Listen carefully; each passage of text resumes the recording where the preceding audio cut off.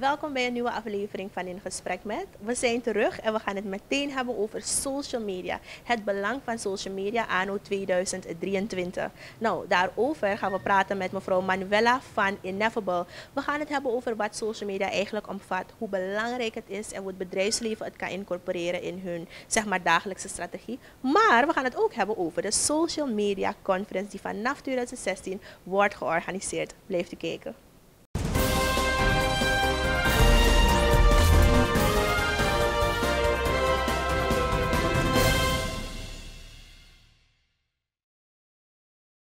We zitten hier met Manuela en zij gaat praten over de social media conference. Maar het belangrijkste eigenlijk het idee erachter, wat social media precies inhoudt en alles daaromtrent. Alvast wil ik zeggen welkom en dankjewel dat je tijd vrijgemaakt hebt om met ons te zitten vandaag. Hoe gaat het? Het gaat goed. We hebben het druk met de voorbereidingen naar de conferentie toe. En natuurlijk moet ik je ook zeggen dankjewel dat je me de gelegenheid geeft om bij jou in het, in het programma te komen. Yes, helemaal prima. We gaan gelijk met de deuren huis vallen. We horen social media conference is eigenlijk al een klinkende naam in de samenleving Klopt. geworden, mag ik zeggen. Ehm, waar is dit idee allemaal eh, geboren? Oké, ehm, ik ben eigenlijk van Ineffable Envy. Ineffable Envy is een social media marketing company. En de CEO van eh, Ineffable Envy kent denk ik een ieder. En dat is Chanouk van Charante. En hij is in 2016 naar San Diego gegaan. En daar was er een social media conference world. En het is dus de conferentie als het gaat om social media marketing van de wereld. Dus Chanouk is naar daar geweest en hij heeft als volunteer geparticipeerd aan de conferentie. En hij vond het allemaal zo prachtig. En ehm, de informatie, zoals het daaraan toe ging. En hij zei van, hé, hey, weet je, waarom zo'n conferentie niet in Suriname organiseren, waarbij de Surinaams, het Surinaams bedrijfsleven en de Surinaamse samenleving hier aan baat kan hebben. Want social media is, een, is the future. Uh, we kunnen tegenwoordig social media niet meer wegdenken in ons dagelijks leven. En voor ons is het belangrijk als marketing company om natuurlijk de, juist, het juist, de manier om het juist te gebruiken aan onze mensen te delen. Je hebt het heel mooi gezegd, het is inderdaad wel de toekomst. We staan er waarschijnlijk niet bij stil. Nee. Alles draait om social media. Ehm, als we het vergelijken met toen, toen had je echt traditionele tv. Maar nu zijn wij ook gewoon genoodzaakt te gaan naar social media. Ja. Ehm, maar voor de mensen die thuis nog echt met die vraag zitten, hoe zou jij ehm, social media omschrijven? Social media zou ik nog steeds omschrijven als iets of een platform waarbij je niet meer onderuit kan. En natuurlijk hebben we bepaalde doelgroepen die vinden van ik hoef niks aan social media. Maar er zijn, nog, er zijn tegenwoordig wel heel veel mensen die het nieuws bijvoorbeeld vanwege bepaalde redenen eh, niet op het, het tijdstip dat ze gewend zijn ernaar te kijken, ze gaan het missen. En dankzij social media kunnen ze de beelden toch weer zien. En vandaar dat die, het, doelgroep op social media ook een beetje is gaan verouderen. Veel meer ouderen zijn zich gaan profileren op social media en we kunnen wel zeggen dat het traditionele gedeelte van de media nog steeds blijft, want er is een doelgroep die ze moeten bereiken, de tv, de radio, de, de krant. Maar social media is gewoon voor de oudere generatie en de generatie om te komen. Ehm, we hebben gemerkt dat er heel veel veranderingen zijn. Eh, je hebt dagelijks steeds weer nieuwe features waarmee je geconfronteerd raakt. Ja. En daar gaan we het straks over hebben. Als jullie moeten terugblikken op de social media conference waar het begonnen is en je bent nu bezig, of jullie zijn nu bezig met de planningen van 2023. ehm, hoe zou je hem samenvatten? Succesvol. Ehm, anders hadden we geen zevende editie. Sinds Ineffable NV eigenlijk eh, is opgericht in 2017. Eigenlijk in 2016, oktober 2016, hebben we getracht om de social media conferentie neer te zetten. We hebben de participanten beloofd om, een, om het tot een terugkerend evenement te maken en we hebben ons aan die beloftes gehouden. Ehm, succesvol, want ook COVID heeft ons niet tegengehouden. We hebben het gewoon virtueel gedaan. En we leren allemaal gewoon eruit. We nemen de feedback mee van onze participanten en vandaar dat eh, dit jaar ook gebaseerd is op de feedback van onze participanten. Goed, um, social media conferences, net als ik zei, een stapel reeds geworden. En natuurlijk heeft het ook wel zijn vruchten afgeworpen. Want soms als je met mensen praat, hoor je, ja, maar dat heb ik daar geleerd. Ja. Dus het is inderdaad een good job dat jullie doen. Um, met het belang van social media, vind je dat we het beter zouden moeten incorporeren in het bedrijfsleven, op de scholen? Hoe kijk je daar tegenaan? Uh, dat is een mooie vraag. Um, daarom de, is de conferentie georganiseerd. Dit is om meer tips en tricks aan het bedrijfsleven te geven hoe ze het optimale van, uh, vanuit social media kunnen halen voor hun sales, voor hun marketing, voor any doeleinden die zij eigenlijk hebben en die past in hun marketingplan om die te implementeren binnen social media. En dat kun je alleen doen met natuurlijk bijscholing en de conferentie. Want de conferentie geeft je alle nieuwtjes binnen deze branche. Um, er komen sprekers uit het buitenland die hun cases gaan delen, die, wat, hoe zij het hebben gedaan in hun land. En we, we zijn altijd geneigd om het wiel opnieuw uit te vinden. Why? Terwijl er mensen zijn die het al hebben meegemaakt en die kennis gewoon met ons kunnen delen. Dus vandaar eigenlijk ook deze conferentie. Goed. Um, je hebt ook natuurlijk op school um, zeg maar wel mensen die behoefte daaraan hebben. Niet iedereen heeft bijvoorbeeld zin om een arts te worden of een advocaat of een docent. Um, hoe, kun, hoe kan eigenlijk het onderwijs dit stukje incorporeren in het curriculum? Ik weet niet of ik het allemaal verklappen, maar we zijn in onderhandeling met UNASAT. De mensen in Affable NV is in onderhandeling met UNASAT om social media marketing tot een, uh, toe te voegen aan hun curriculum natuurlijk. Dat is een heel mooi, ja. heel mooi idee trouwens. Ik denk dat veel meer colleges dat zouden moeten doen, omdat je merkt dat alles faalt en staat daarmee. Ja. Um, jullie zijn bezig met de onderhandelingen, maar als er zeg maar, mensen zijn die zoiets hebben van hey, ik wil me zeg maar, beter scholen op dat gebied, uh, welke tips zou jij ze geven? Um, ik zou ze zeggen om gewoon een aanvraag te doen. Heb je het echt dringend nodig? Wij doen eigenlijk ook trainingen op maat om uh, een specifiek uh, doeleinde op social media te kunnen bereiken.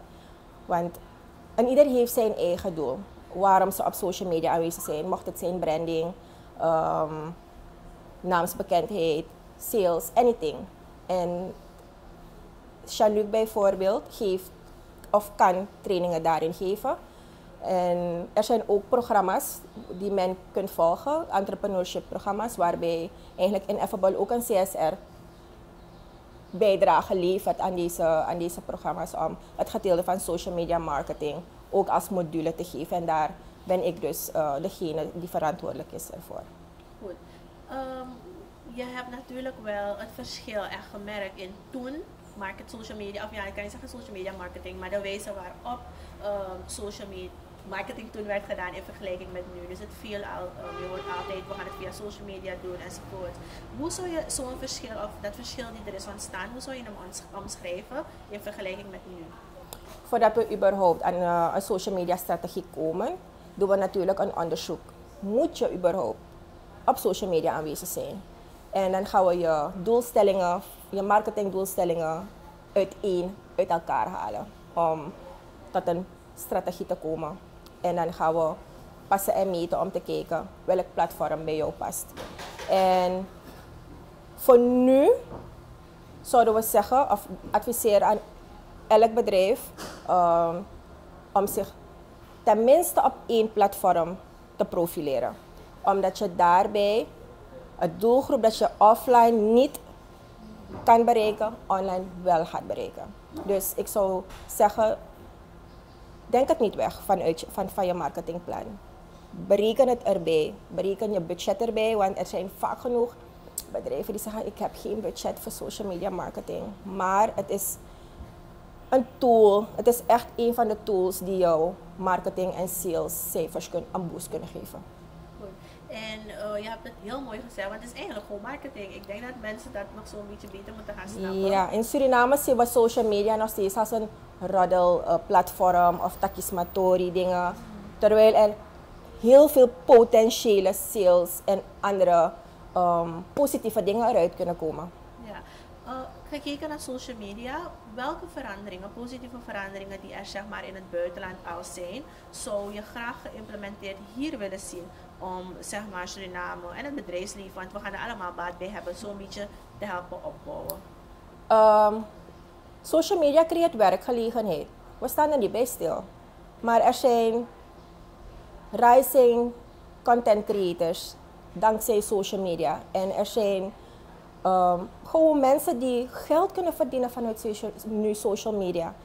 En ik zou, ik zou zeggen van, ja, investeer gewoon erin in, in social media. Het is, is, is something you have to do. Ja, we merken dat de brug uh, vanuit buitenlandse platforms, ik zeg buitenlandse platforms, als we kijken naar YouTube bijvoorbeeld, Ja. uh, TikTok, toch wel, het is wel een beetje groot naar Suriname toe. En uh, je hebt wel mensen die zeggen ze kunnen eraan verdienen, dan nog heb je anderen die zeggen hey, ik heb de mogelijkheid daartoe niet. Wat is volgens jou een oplossing? Hoe zouden we betere invulling hieraan kunnen geven? Wat ons stremt is de monetaire infrastructuur. Um, natuurlijk zijn we bezig, we horen het ook wel al heel lang, dat um, ze bezig zijn om te monetizen. Want als je niet kan monetizen, kan je online, uh, online betalingen niet al zodanig verrichten. En dat werkt stremmend voor heel veel van de content creators of degenen die online platformwerk doen. Um, ik zou zeggen dat de overheid echt hier aan wat moet doen, zodat uh, er meer werkgelegenheid gecreëerd kan worden online. Goed. Um, we hebben het dus gehad over wat social media betekent aan 2023, waarom jullie die conferentie houden. Dan wil ik nog meer de focus leggen op de generatie die nu komt. We Ja. merken dat we wel echt um, social media neuzen hebben, toch? Als we kijken, als ik een promotie moet doen, doe ik het eerder op sociale media, in plaats van bijvoorbeeld naar een krant bijvoorbeeld gaan. Ik zeg Ja. maar wat. Um, hoe denk jij dat er invulling gegeven kan worden in de toekomst hieraan? Want dan heb je zo'n beetje die zeg maar, ik wil niet zeggen een strijd, maar het is zo'n beetje een, moeilijk verkeer tussen traditionele tv, radio of, social, of media en dan social media. Voor, je moet als bedrijf of als organis organisatie wel weten waarvoor je promo maakt. Um, heeft het zin dat je überhaupt je budget gaat, uh, gaat gebruiken voor de traditionele media? Wie wil je bereiken? Dat is een van de grootste vragen die je zelf moet stellen voordat je begint met promo. En als je, als je, als je merkt bij een onderzoek bij een nulmeting hebt opgemerkt dat je doelgroep die je wilt bereiken online is, dan gaat je promo volledig online moeten zijn. En het mooie van online promo is dat je kunt meten. En voor heel veel bedrijven willen zij ook graag weten, ik heb zoveel erin gezet, wat is mijn return of investment? Bij de traditionele media gaat dat nog een beetje moeilijk. Dus um, ik denk dat um, er voor natuurlijk grote bedrijven die gewend waren om op tv en radio uh, te adverteren of hun promo te maken, ook rekening moeten houden dat ze tenminste een klein budget ook apart moeten zetten voor social media. Want daar bereik je tenminste drie kwart van je, van je doelgroep. Dat is zo. We hebben het eigenlijk in de, bij traditionele media, ik zit er zelfs ook bij, merk je het verschil ook wel in de zin van, uh, je hebt soms mensen die je herkennen, een hele grote groep van social media, want wij streamen ook op sociale media. En dan heb je een groep die zegt, weet je, dat is iets de oudere generatie. Hé, hey, we herkennen je echt gewoon van de tv. dus je merkt wel dat het, ze blijven even belangrijk en moeten inderdaad naar een andere mogelijkheid kijken. Um, Oké, okay, iemand wil de social media conference bezoeken en die is dus nooit geweest. Ja. Hoe kan de persoon er deel van uitmaken en hoe ziet een dag op de social media conference eruit? Fun en knowledgeful. Um, ik ben natuurlijk een stoomvoet want ik zit in de organisatie van de conferentie. Um, voor de organisatie is het innerverend, maar het is leuk. Vooral wanneer de dag aanbreekt en we daar staan en we de participanten vol enthousiasme zien en de sessies volgen. Um, het, wordt een, het zijn drukke dagen. Dit jaar hebben we het op drie dagen. Uh, 23, 24 oktober, als ik dat mag even mag uh, doorgeven. Het zijn dan drie volle dagen. Je bent van 9 uur s morgens hier tot ongeveer 4 uur s middags. En dan kan je genieten van leuke sessies, paneldiscussies, workshops on hands die gegeven worden door lokale en internationale sprekers. En daarnaast kun je netwerken met degene, met, met de participanten die daar aanwezig zijn. Um, wat ik ook mooi mag verklappen is dat, ik denk dat je het ergens in het begin hebt gezegd, er zijn mensen die tijdens de social media of op de social media conferentie aanwezig waren en um, van daaruit andere connecties hebben gemaakt. En het is echt mooi om te zien dat vanuit de conferentie mensen werk hebben gekregen, samenwerkingen zijn aangegaan. En als men dus nu op onze website gaat kijken, zien ze gewoon bepaalde namen terugkomen. Er zijn gewoon participanten die vanaf het begin de conferentie hebben meegemaakt en hebben gezegd van hé, hey, ik wil een keer gewoon deel zijn als een moderator of een spreker of anything dat te maken heeft met de conferentie. Dus dat is echt gewoon mooi om te zien. Ja, dat heb ik inderdaad ook wel gemerkt hoor. Ik, ik ben er in ieder geval wel bij. Ik weet niet voor die mensen thuis, maar ik ben er wel bij. Heb je nog informatie die je wilt toevoegen aan dit gesprek? Um, ik zou gewoon kunnen aangeven, als je meer informatie wilt weten over de conferentie, hoe we op het idee zijn gekomen, wie de sprekers allemaal zijn geweest, wie er toe, uh, naartoe komen, zou ik zeggen, bezoek de website. Onze informatie um, staat er allemaal op. We hebben onze programma's nog niet rond van de drie dagen, maar wel van de eerste dag. En dat is dus de workshopdag. Dus alle informatie zou ik zeggen om uh, te checken op onze website www.socialmedia.sr. Goed, heb je nog een boodschap als het dus gaat om uh, social media, hoe mensen ermee het best kunnen omgaan, zeg maar? Um, social media is leuk, maar is tijdrovend. Um, ik zou zeggen, s'morgens wanneer je opstaat, try not to pick up your phone that instant, het momentje van het bed gaat. Want voordat je denkt, is een half uurtje voorbij en dan kan je laat op het werk aankomen, want het is echt verslavend. Uh, ik mag dat soms ook verklappen, soms zit ik op het toilet en dan um, ben ik de tijd kwijt en dan kan het zijn dat ik laat ben. Maar ik zou zeggen, het is leuk. Social media is entertaining. Um, heel veel mensen, wanneer ze niks te doen hebben, gaan ze gewoon even scrollen en kunnen lachen. Social media makes their day. En ik wil dat het gewoon daarop moet blijven. Let social media make your day and not break your day. Dus volg mensen, volg pagina's, um, accounts of bedrijven waarvan je weet dat je iets terug kan leren. En niet dat uh, je er slechter van wordt. Dat is het enige dat ik uh, wil vertellen. Nou, Manuela, heel hartelijk bedankt. Ik wens je ook heel veel succes toe um, met de organisatie en ook gewoon de social media conferentie. Dankjewel, Aranza. En u heeft het zelfs gehoord van mevrouw Manuela van Ineffable. We hebben het gehad over de social media conference, over hoe belangrijk social media is. Als jij hulp nodig hebt, dan weet je in ieder geval waar je moet wezen. Ze heeft ook de website genoemd waar je terecht kan voor alle informatie. Dat was het wat betreft het eerste deel. Maar gaat u nu weg, want mijn collega Richelle heeft het tweede deel voor u.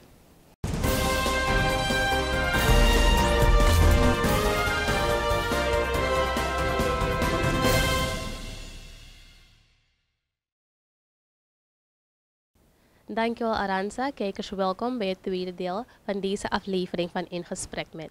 Vandaag praten we met Ryan Bergen. Hij is de manager bij het Museum Villa Sapacara. En met hem gaan we praten over Museumnacht, die op 14 oktober aanstaande wordt gehouden.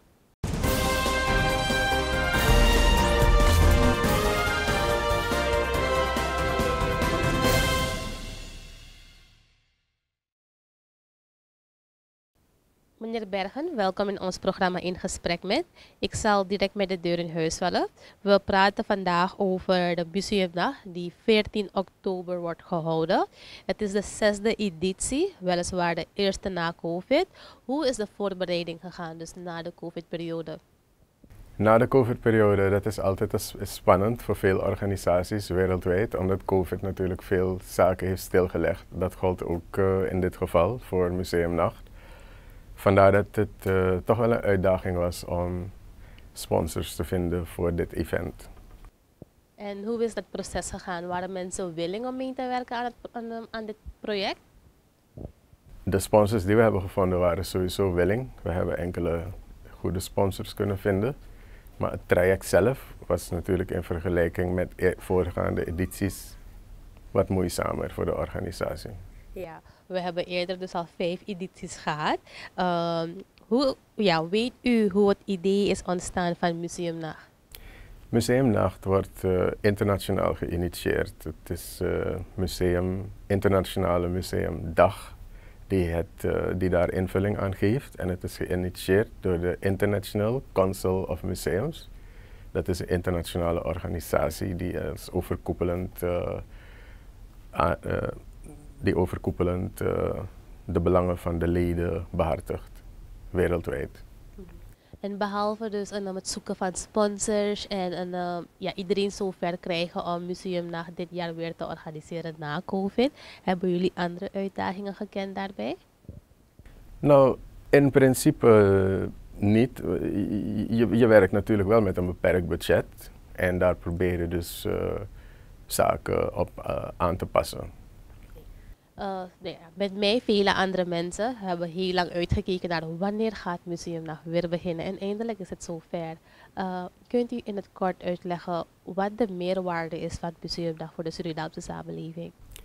Belangrijk bij zo'n event is dat uh, Museumnacht bijdraagt aan de culturele rijkdom van Suriname. Je maakt mensen bewust over wat we allemaal hebben. Want het blijkt dat er toch heel veel organisaties zijn die iets te bieden hebben aan de samenleving. En dan moeten we denken aan bijvoorbeeld het Kotto Museum, het Joods Museum, het Rumhuis, Villa Sepakara. Allemaal organisaties die daar zijn aangesloten. We hebben ook Clevia, we hebben Art Gallery, uh, dus Gigi Art Block, uh, die zijn erbij gekomen, Ready Text. Het zijn allemaal organisaties die iets te bieden hebben. Als je gaat kijken zie je altijd iets wat je nog niet wist. Uh, opmerkelijk vind ik dat er dit jaar bijvoorbeeld een um, ja, organisaties als G-Art Blog uh, en Ready Text Art Gallery meedoen.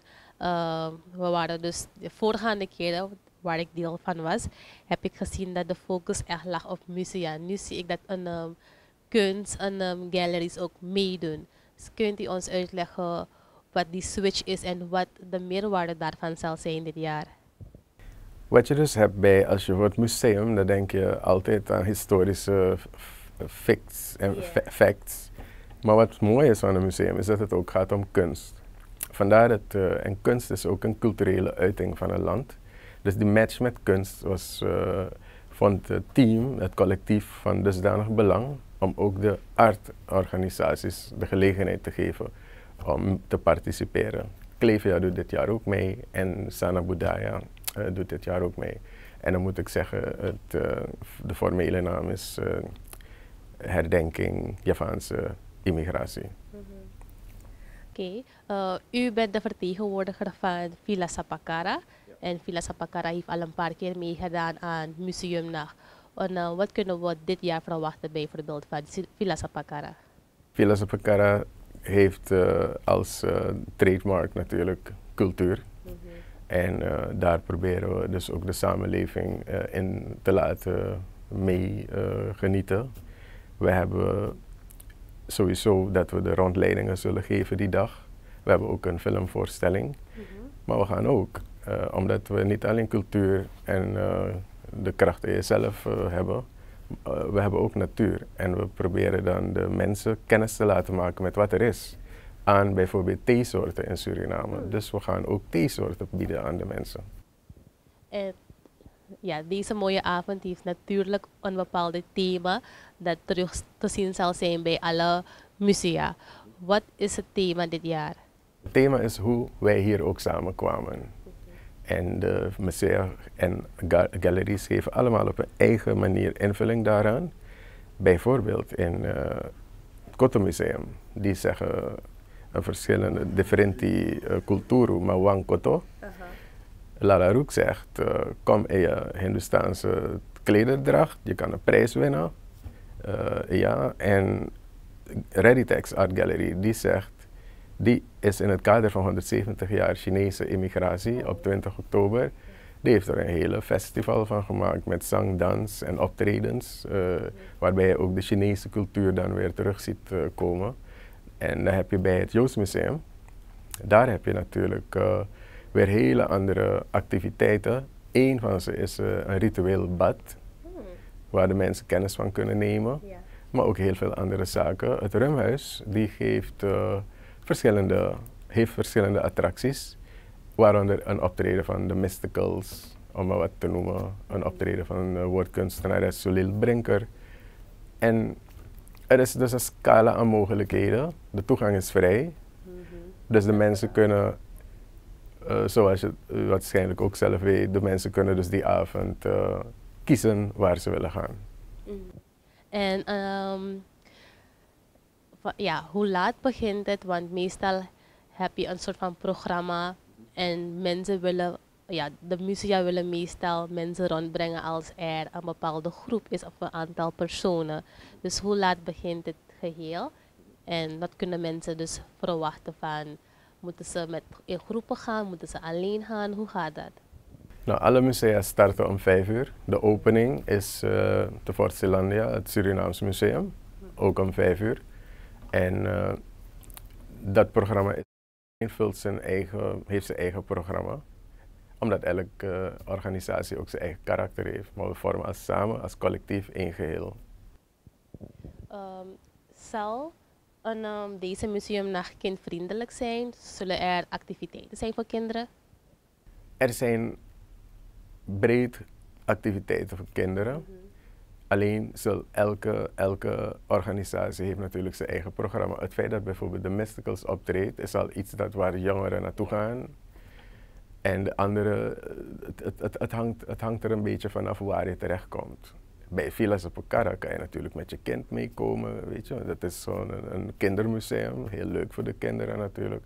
Om op een uh, interactieve manier toch uh, wat kennis op te doen over onze cultuur in Suriname.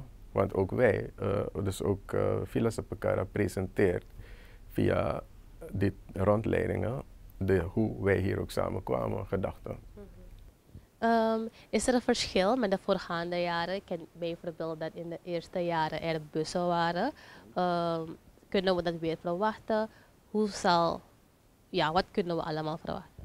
Nou, ik zou over bussen willen zeggen dat uh, het uh, aan te raden is als je op eigen gelegenheid kan komen. Mm -hmm. Als er bussen beschikbaar zouden zijn, dan zullen we dat, op het, uh, zullen we dat bekendmaken. Maar ga ervan uit dat, dat, dat, mensen, dat de mensen op dit moment op eigen gelegenheid zullen komen naar de plaatsen. En um, doet bijvoorbeeld het Legermuseum dit jaar ook mee? Ja. Het Legermuseum doet ook mee. Zij hebben heel veel te laten zien op het gebied van de geschiedenis van het leger in Suriname. Heel vaak is de concentratie in het centrum, dus het centrum van Paramaribo. Uh, hoeveel musea doen mee binnen het centrum?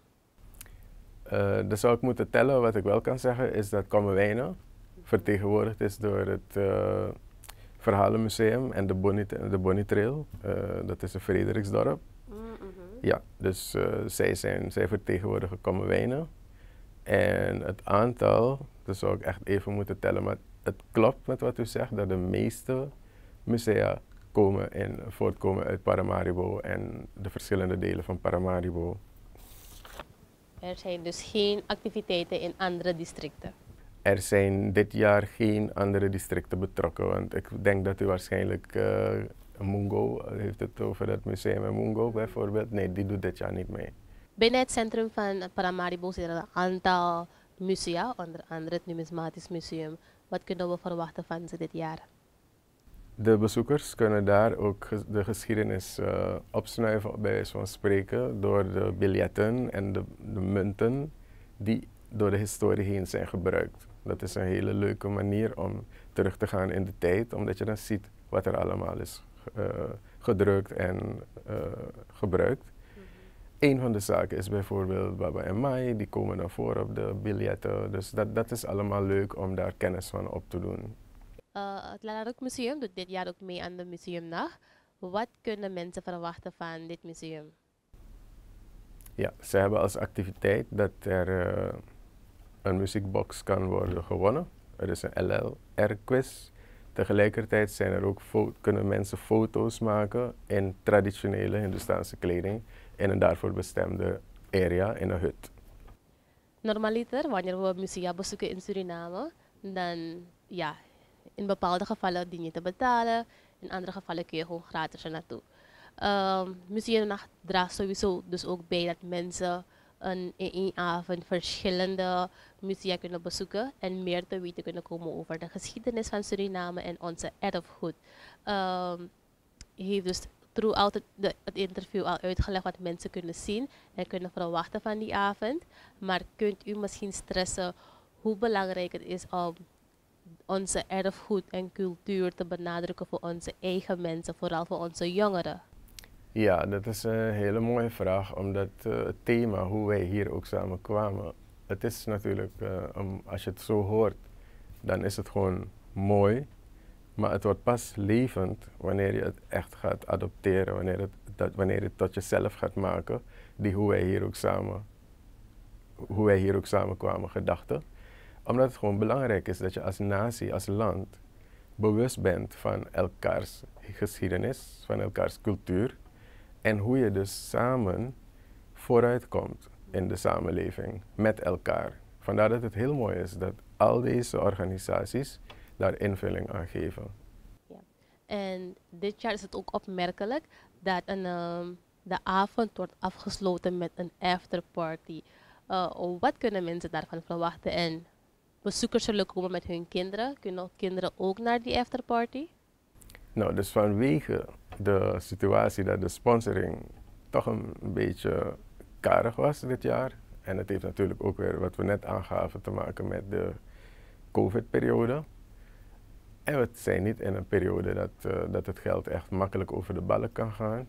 Heeft de organisatie besloten om de afterparty voor dit jaar on hold te zetten. Dat is wat minder, maar um, voor, de, voor de komende jaren uh, zijn er al planningen hoe dat zal verlopen? Met Museumnacht? Ja. Nou, wat de organisatie sowieso meeneemt voor de komende, volgende edities, is dat wat we nu weer aan het heropbouwen zijn, mm -hmm. dat die lijn voortgezet wordt. Want we nemen natuurlijk onze kennis mee van uh, deze periode after COVID. Er volgt natuurlijk daarna evaluatie en de bedoeling is dat de volgende groep, het volgende collectief of de mensen die dan zitting hebben, dat het makkelijker is om het dan weer verder te laten gaan. Heeft u een boodschap of oproep aan de Surinaamse samenleving als het aankomt op Museumdag? Nou, de oproep is kom massaal, kom genieten van zo'n mooie dag. Want het is één keer in het jaar en in dit geval is het de eerste keer na drie jaar. Kom kijken wat alle musea te bieden hebben.